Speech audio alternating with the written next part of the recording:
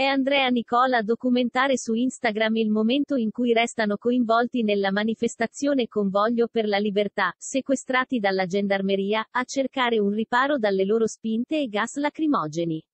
Attimi di paura per Andrea Nicole e Ciprian che stanno trascorrendo un romantico San Valentino nella città dell'amore, Parigi. Alla vigilia del 14 febbraio, la coppia è uscita a cena nel centro della capitale e si è ritrovata travolta dalla manifestazione Convoglio della Libertà, senza capire cosa stesse succedendo.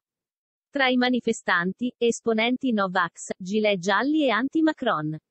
È l'ex tronista a condividere su Instagram uno scatto del momento in cui si sono ritrovati in mezzo alla folla. Tremo ancora al pensiero che noi eravamo lì, sequestrati dalla gendarmeria, a cercare un riparo dalle loro spinte e gas lacrimogeni. Senza conoscerne il motivo.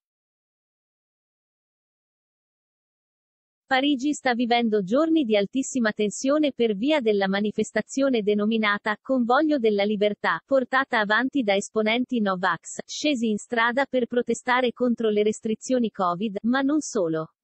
Tra loro anche manifestanti anti-Macron e gilet gialli. In totale sono 97 le persone fermate dalla polizia nel corso della manifestazione, che ha raggiunto il suo apice sabato 12 febbraio.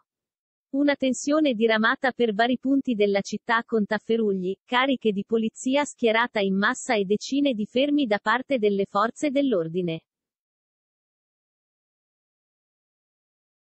Dopo i festeggiamenti per il trentesimo compleanno dell'ex tronista, Andrea Nicole e Ciprian si stanno godendo i primi mesi insieme dopo il programma. Pace fatta con Maria che si è scusata con loro quando sono tornati in studio a uomini e donne. Per l'occasione è arrivata anche la tanto desiderata scelta con i petali rossi. Ora è tempo di pensare ai progetti, in particolare alla convivenza appena avviata. Andrea Nicola ha deciso di lasciare l'appartamento dove viveva a Milano e di trasferirsi da Ciprian nella zona dei Castelli Romani.